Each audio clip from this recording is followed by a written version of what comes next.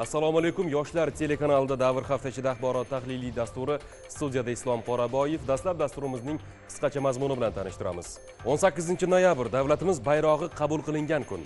Yosh kitobxon tanlovining sirdaryo va qashqadaryo viloyati bosqichlari tafsilotlari. Samarqand she'r oqshomlari yoshlar anjumanidan reportaj. Global tadbirkorlik haftaligidan qanday yangiliklar bor? Innovatsion g'oyalar va loyihalar qog'ozda qolib ketmayaptimi? Mamlakatimizda yangi o'zbekiston ekologik partiyasi tashkil etiladi. 18 noyabr davlatimiz bayrog'i qabul qilingan kun. U mamlakatimiz suverenitetining ramzidir. Bayroq xalqaro munosabatlarda o'zbekiston respublikasining timsoli hisoblanadi. Hozirgi lavha davlat ramzi qabul qilingan sanaga bag'ishlanadi.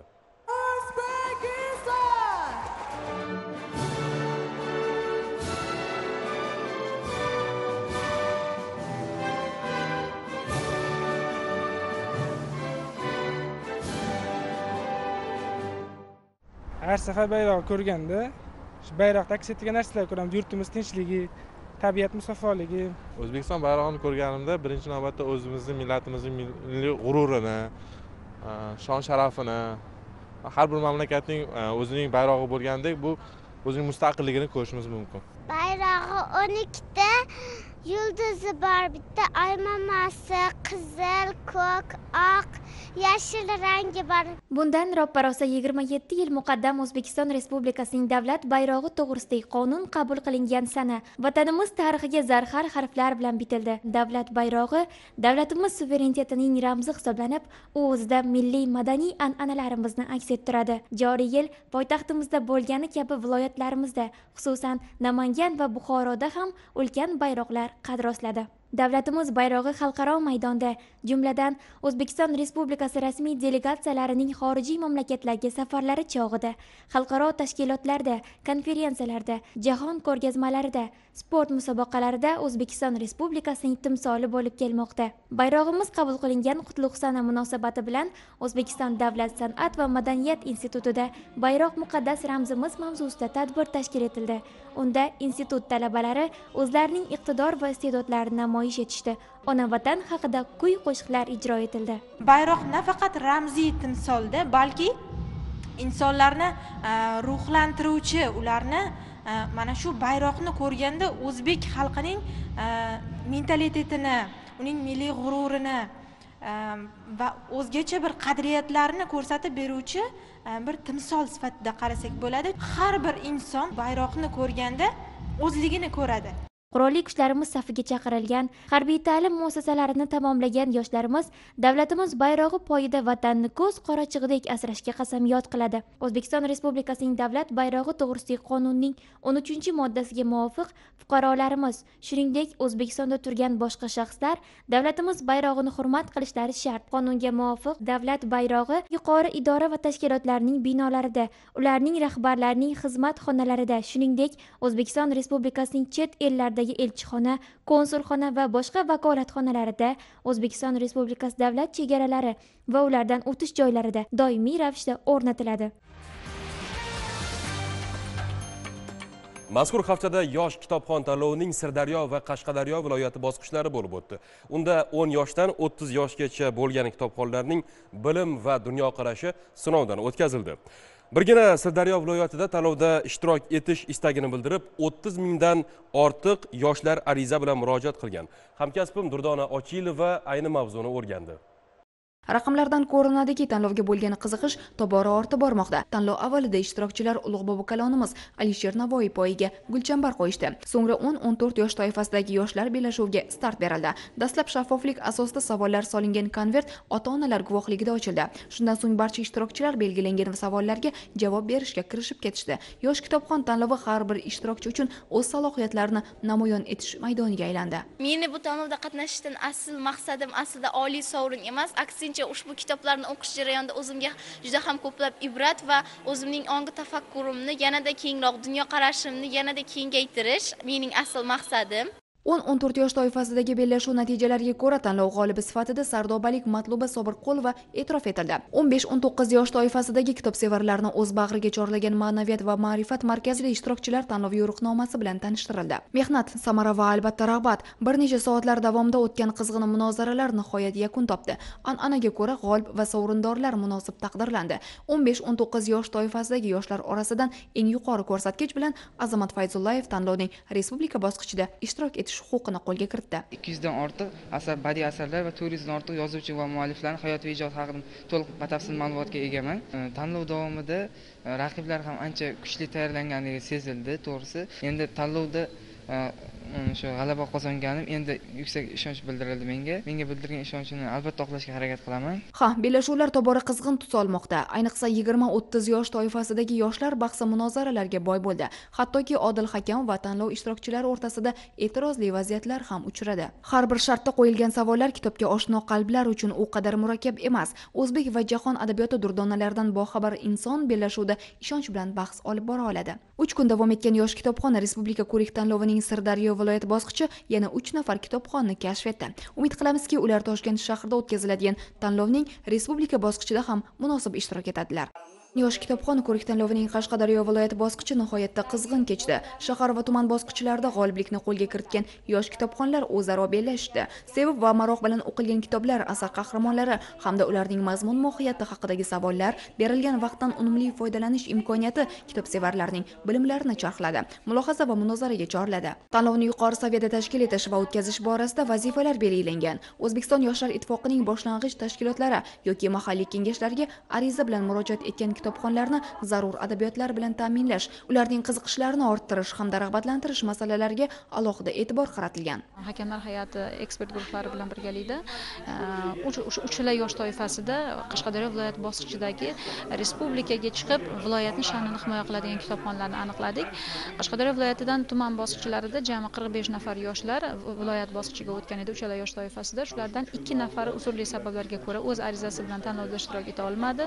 Qolgan qirq uch nafar yoshlar o'rtasidan uchala yosh toifasida ham bir nafardan juda yuqori ball bilan eng e'tirof etiladigan tomoni shundaki e, sheriklardan e, juda katta ball bilan farq qiladigan darajada mutlaq g'oliblikni qo'lga kiritib respublikada ishtirok etish vakolatini qo'lga kiritib uch nafar yoshlarimiz qirq besh nafar ishtirokchi qatnashgan tanlov davomida nizomga ko'ra 10 yoshdan o'n to'rt yoshgacha bo'lgan kitobxonlar orasida chiroqchi tumani sakson ikkinchi umumiy o'rta ta'lim maktabining 8 sinf o'quvchisi hurriyat norqobilova g'oliblikni qo'lga kiritgan bo'lsa o'n besh o'n to'qqiz yosh doirasidagi kitobsevarlar orasida eng zukkosi aniqlandi. Bu sharafga shahrisabz shahri o'ninchi maktab o'quvchisi sarvarbek komiljonov sardorlik qildi. 3 kun ya'ni yigirma yoshdan o'ttiz yoshgacha bo'lgan kitobga mehri yuksak ishtirokchilar orasida ham g'oliblar aniqlandi. Viloyat bosqichida ham ikkita shart bo'yicha bellashdik birinchi shartimizda ogahiy hayoti va ijodi men unda qiynalmadim sababi bakalavrlik davrimda ham. Bevosita o'zim e, mumtoz kafedrada o'qiganligim uchun ham mumtoz e, adiblarni hayoti va ijodini chuqurroq o'rganganligimiz uchun ham ogahiyni hayoti va ijodini batafsil yoritib berdim. O'ylaymanki respublika bosqichida ham barcha savollarga to'liq javob berib birinchi o'rinni egallab o'zimizning qashqadaryo viloyatini yuzini himoya qilaman degan umiddaman. Tanlovning ma'lum yosh toifasida g'olib bo'lganlar uning eng yuqori respublika bosqichiga yo'llanmani qo'lga kiritdilar. Sirdaryolik azamat fayzullayev va qashqadaryolik surayyo shodiyeva ana shunday yoshlardan. Muxbirlarimiz iste'dodli yoshlarning hayot tarzi bilan yaqindan tanishdi. Har bir iqtidor egasini eng avvalo uning atrofidagi muhit tarbiyalaydi. Guliston shahridagi akademik litseyda ham ana shunday ko'plab iste'dodli yoshlar voyaga yetmoqdaki ularning erishayotgan har bir yutuqda ko'rishimiz mumkin. Ayniqsa adabiy muhitni shakllanishga imkon yaratgan ushbu dargoh azamat fayzullayev singari yoshlarni kitobga bo'lgan qiziqishini yanada kuchaytirdi. Yosh kitobxon ko'rik tanlovida birinchi bor eshitganimda aynan mana shu tanlovda o'zimni omadimni sinab ko'rish ishtiyoqi paydo bo'ldi. Jumladan o'sha e, o'zbekiston yoshlar ittifoqi ittifoqi guliston shahar akademik litseyi yetakchisi bilan birgalikda o'sha kerakli bo'lgan kitoblarni ro'yxatini qidirib topib albatta o'sha kitoblarni o'qib chiqishga ularni muallifini hayoti va ijodini o'rganishga harakat qildim. Va e, hozirgi kunda e, sirdaryo viloyat bosqichida g'oliblikni qo'lga kiritib respublika bosqichiga yo'llanma oldim faqatgina mana shu oliy sovrin uchungina e, kurashib ketgani yo'q. Shunchaki e, insonni ma'naviyatini ko'tarish uni savodxonlik darajasini kerak bo'lsa huquqiy madaniyatini ham oshirish borasida qilingan tadbir edi. Azamatni ushbu ta'lim maskanida o'tgan davri uning iqtidorini kashf etishga namoyon qilishga muhim pillapoya bo'ldi. Sababi atrofida hamisha uni qo'llab turuvchi yaqinlar bor edi. Azamat kitob sevgani balki shu uyimizda o'sha adabiyotga taalluqli kitoblar badiiy adabiyot namunalari ko'p bo'lganidan bo'lishi ham mumkin. Olti yoshidan boshlab yirik yirik badiiy asarlarni o'qib boshlagan. Ungacha endi ertaklar bilan katta bo'ldi. Olti yoshdan keyin katta badiiy asarlarga o'tdi. Hikoyalar qissalar o'zini yoshiga to'g'ri keladigan o'sha kichkina shahzodaga o'xshagan asarlarni o'qib chiqdi. Kitoblarni topishga uncha qiynalmadi. Ko'pchiligi uydan chiqdi. Fayzullayevlar oilasida o'ziga xos go'zal muhit bor. Muhit kelajakni poydevorini quradi. Tanlovning viloyat bosqichiga qatnashayotganida Э, men o'sha payt auditoriyada darsda edim. Bu xabarni e, uni maktab o'qituvchisi yetkazdi. Judayam xursand bo'ldim chunki telefon orqali aytganda qarsaklar ovozi eshitilayotgandi. Kutilmagan xabar bo'lgani uchun judayam xursand bo'ldim. E, shu uyga qanday yetib kelganini bilmayman. Azamat o'sha xursandchilik bilan kutib oldi. Yosh kitobxon respublika ko'rik tanlovining saralash bosqichida yuqori ko'rsatkich bilan g'oliblikni qo'lga kiritgan azamatni oldinda ulkan sinov kutmoqda. Umid qilamizki tanlovning bu yilgi respublika bosqichida sirdaryoning ham o'z o'rni bo'ladi. Biz bunga ishonamiz. Nodira mavlonova xo'jakel safarov sirdaryo yoshlar. Surayyo shodiyeva qarshi davlat universitetining o'zbek filologiyasi fakulteti magistratura bosqichi talabasi. Asli koson tumanidan bo'lgan talaba qiz yoshligidan adabiyotga ko'ngil qo'ygan. O'quvchilik yillaridan uning she'riyatdagi mashqlari o'qituvchilari e'tiboriga tushgandi. Bu munozaralar chog'ida uning o'zi ham fidoyilik kasbi o'qituvchi bo'lishni diliga tugib qo'ydi. Ota onam o'qituvchi ya'ni ziyoli oilada tug'ilganligim sababli ham ular meni kitobga oshno qilib voyaga yetkazishdi. Va o'quvchilik davrimda ham talabalik davrimda ham va mana shu bugungi magistrlik jarayonimda ham mening soham va hayotim mana shu kitoblarga bog'liq bo'lganligi sababli ham men viloyat bosqichida birinchi o'rinni qo'lga kiritdim. Inson qalbini adabiyotga bo'lgan mehr hech qachon tark etmaydi. Kitob mutolaasini hayotining mazmuni deb biladigan surayyoxon esa bo'sh vaqti bo'ldi deguncha o'zbek va jahon adabiyotining yangi qirralarini axtaradi. Bu yo'lda unga ustozi professor nafas shodmonov yaqindan ko'mak berib kelyapti. Zamon bilan hamnafas bo'lish zamon qo'yayotgan talablarni to'g'ri e, his qilish idrok qilish asosida o'z faoliyatini boshqarish bu surayyoda yaxshi yo'lga qo'yilgan desak xato bo'lmaydi kitobdan olingan e, mahsul insonni ma'naviyatini yuksaltirishi bu abadiy insonga xizmat qiladigan vosita bo'lib qoladi.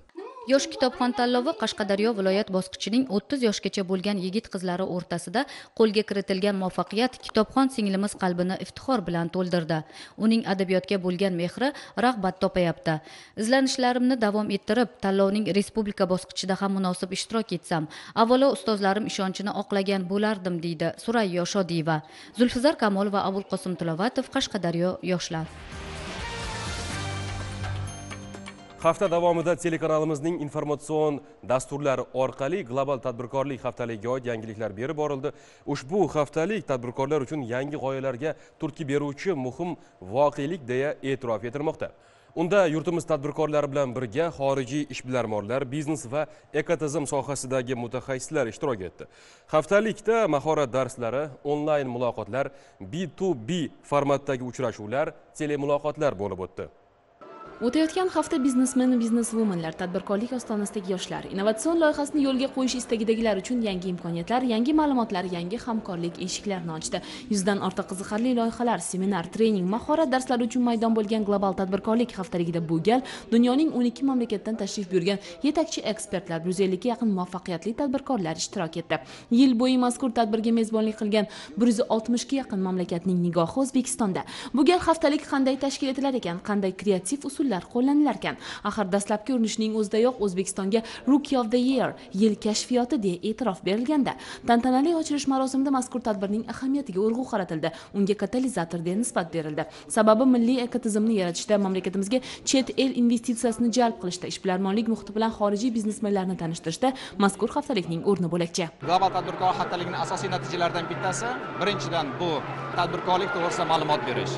Ikkinchisi tadbirkorlik bilan shug'ullanishga qo'rqmaslikni ya'ni o'ziga ishonchni hosil qilish.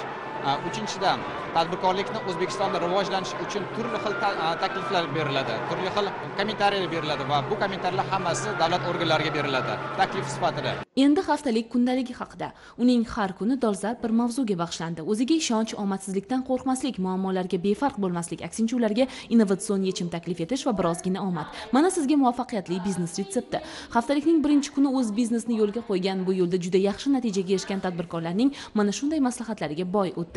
O'zbekiston milliy universiteti talabalari xitoy xalqaro yoshlar rivojlanish forumi ta'sischisi lui si bilan uchrashdi. Siz hali hanuz dunyoga dong taratish katta muvaffaqiyatga erishish boy bo'lish uchun ma'lum bir yoshga kirishim qarishim kerak deb hisoblaysizmi deya tinglovchilarga yuzlandi lui xonim. Millionerlar yosharyapti sizning ulardan nimangiz kam deya ilhomlantirdi. Hozirgi o'g'il qizlar bilan parvoz gaplarga ucharmidi? Ularga har bir so'zni isboti bilan keltirish kerak. Buni bilgan lui xonim o'ttiz uch yoshda millionerga aylangan jang syuhao butun xitoyga mashhur lui donghao didi kompaniyasi egasi ellik besh yoshli tadbirkor chang veylarning biznes tarixini misol tariqasida keltirdi. Biz esa o'zbek yoshlari bilan suhbatda bo'lgan va shu orqali ularning imkoniyatlarini chamalab ulgurgan luisining fikrlarini siz bilan o'rtoqlashdik.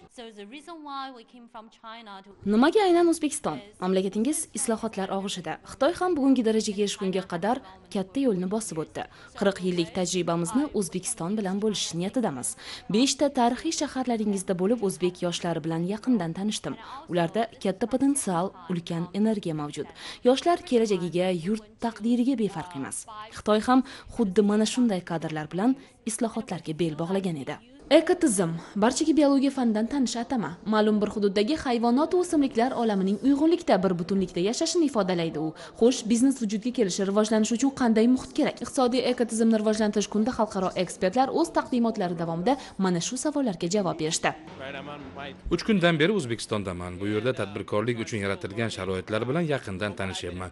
Mazkur sohadagi islohotlar haqida gapirib o'tishni joiz deb bildim.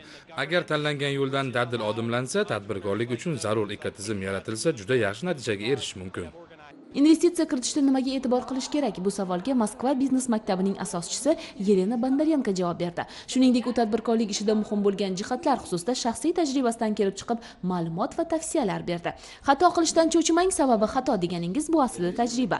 Omad yo'lidagi ulkan to'siq aslida o'zingiz shunday ekan barchasi harakatlaringizga bog'liq. Biznes uchun katta mablag' kerak deysizmi?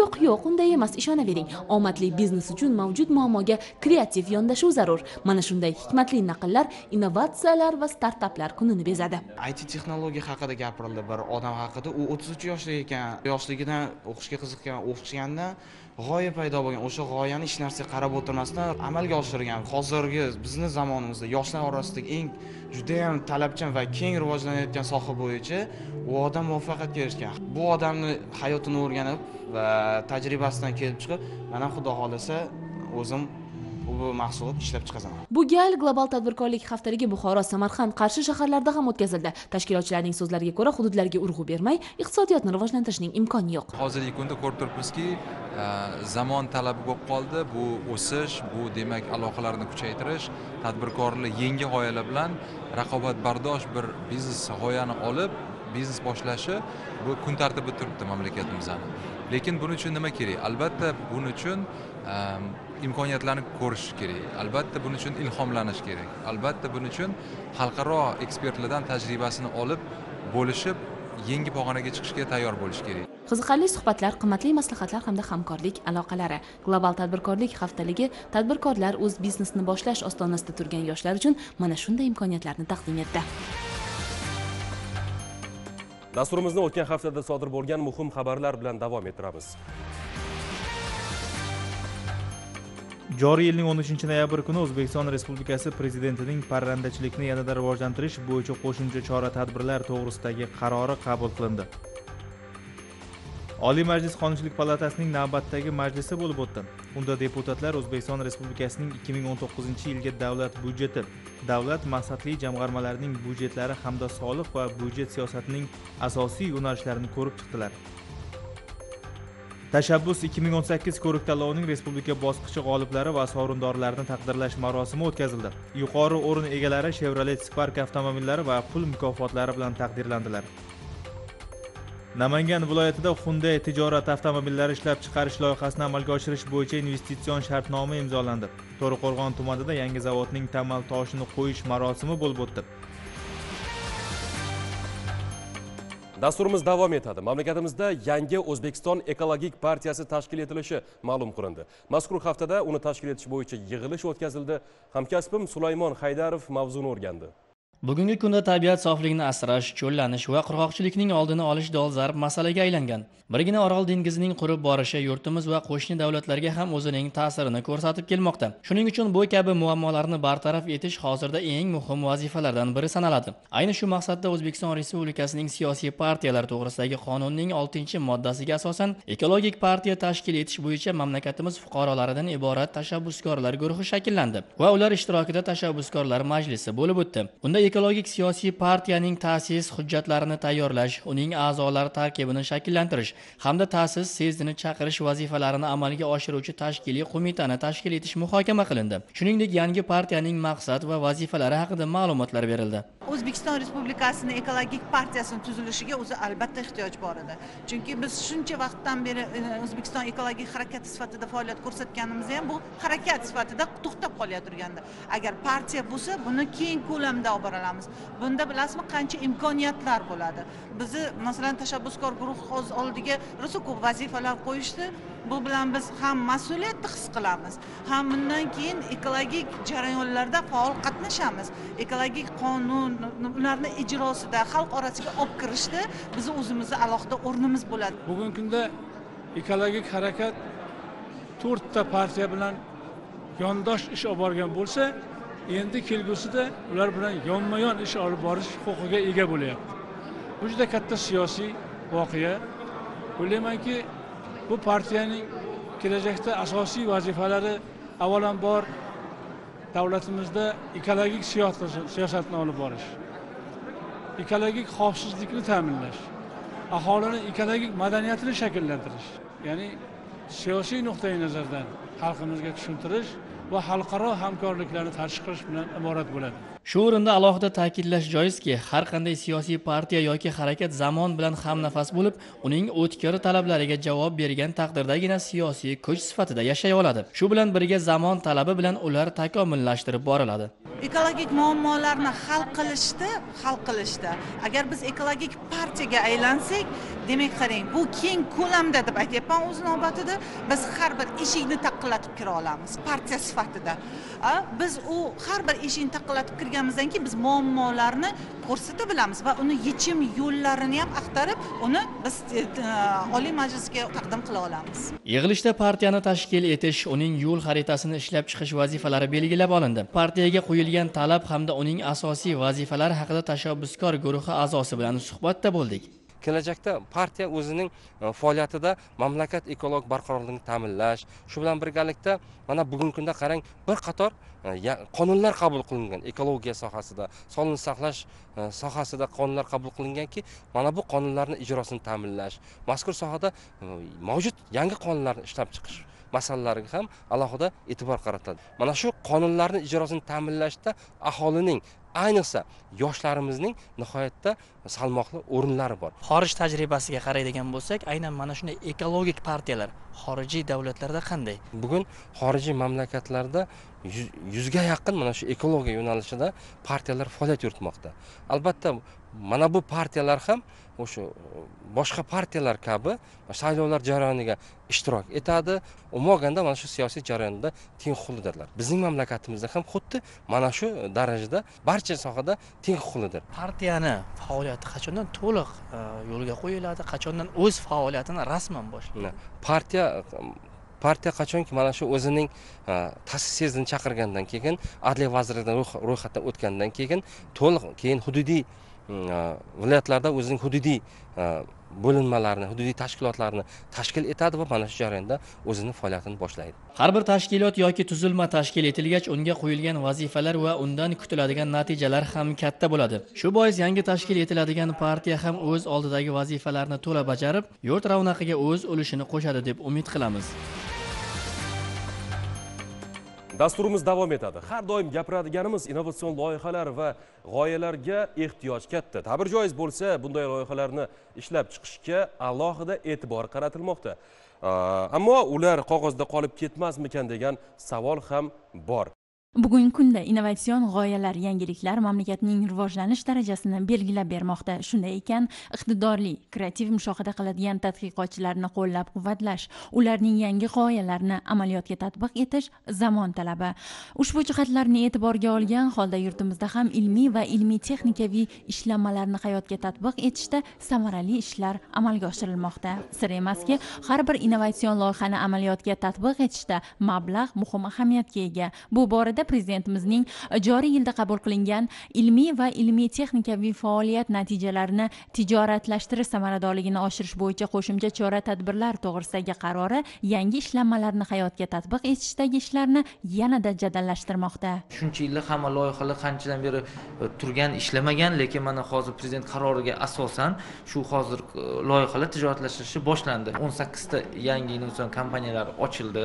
Ya'ni bu innovatsion kompaniyalar ochildi deganiki e, bizani e, innovatsion ishlanmalarimiz hayotga tatbiq etishni boshlaydi. Ilmiy kashfiyotchi kelib o'zini innovatsiyasini bizga olib keladi. Biz uni ko'rib chiqamiz analiz qilib ko'rib chiqqanimizdan keyin uni bankka beramiz. Bank uni loyihasini moliya tomonidan ko'rib chiqib keyin o'zini bir xulosasini bergandan keyin biz e, tarmoq bilan birga ya'ni bank tarmoq va yangi tuzilgan kompaniyalar va ilmiy tadqiqot instituti birga ko'rib chiqib ya'ni buni keyin iqtisodiyotga tatbiq etishni boshlaydi. Joriy yilning o'tgan vaqti davomida innovatsion rivojlanish vazirligi tomonidan respublikamizdagi o'n yettita ilmiy tadqiqot institutining tijoratlashtirish mumkin bo'lgan ishlanmalari namoyishi tashkil etildi. Unda namoyish qilingan to'rt yuzdan ortiq ilmiy ishlanmalarning oltmish ikkitasini ishlab chiqarishga joriy etish mumkin deb topildi. Ayni paytda qirq uchta ishlanmani tijoratlashtirish bo'yicha amaliy ishlar olib borilmoqda. Ilmiy tadqiqot institutlarining qirq uchta loyihalarini biza tijoratlash mexanizmini boshladik tijorat mexanizmini boshladik. Qaysi ma'nodaki mana misol qilib keltirganda yigirma oltita loyiha bo'yicha o'n sakkizta innovatsion kompaniya va to'qqizta e, litsenziya shartnomalar tuzildi. Shartnomalari tuzilgan to'qqizta loyihalarning eng samarali va dolzarb deb topilgani asosan farmatsevtika va tibbiyot anjomlari shuningdek qishloq xo'jalik tarmoqlarini rivojlantirishga qaratilgan loyihalardir. Hozirda ana shunday ishlamalardan biri farmatsevtik dori vositalarini ishlab chiqarish loyihasi amaliyotga tatbiq etilmoqda. Ahamiyatlisi mazkur dori vositalarini ishlab ishlab chiqarishda faqat mahalliy xom ashyodan foydalanilmoqda. Bu bevosita o'simlik kimyolari instituti bilan birgalikda hamkorlikda e, ushbu institut bilan tuzilgan kompleks tadbirkorlik e, franshiza shartnomasi bo'yicha faoliyat yuritib kelyapmiz. Hozirda flanarin dori vositasini ishlab chiqaryapmiz. Yaqin kunlarda iste'molchilarga ushbu dori vositasini taqdim qilamiz. Flateron dori vositasi bo'yicha esa klinik tekshiruvlar yakunlanish arafasida klinik tekshiruvlar yakunlangandan so'ng ular ham bevosita ishlab chiqarishga joriy qilinadi va iste'molchilarga taqdim qilinadi. Hozirgi kunda bu kabi dori vositalari chet eldan import qilib olib kelinadi. Ushbu dori vositasi shu import qilinayotgan dori vositalarini o'rnini qoplashga qaratilgan. Buni yana bir afzalligi shundaki bu tabiiy o'simliklardan tayyorlangan tahlillar shuni ko'rsatmoqdaki yurtimizdagi tadqiqotchilar tomonidan ishlangan har bir innovatsion loyiha e'tiborda. Hatto mukammal deb topilmagan ilmiy texnikaviy tadqiqot ishlari ham innovatsion rivojlanish vazirligi tomonidan qayta ishlanmoqda mukammallashtirilmoqda. Dolzarb deb topilgani esa hayotga tatbiq etilmoqda. Ahamiyatlisi ishlab chiqarishga joriy etilgan ishlarning aksariyati chet davlatlardan keltiriladigan importni qisqartirishga imkon beradi.